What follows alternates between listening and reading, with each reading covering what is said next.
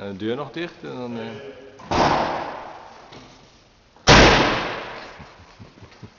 Mag je hem zelf... Eh,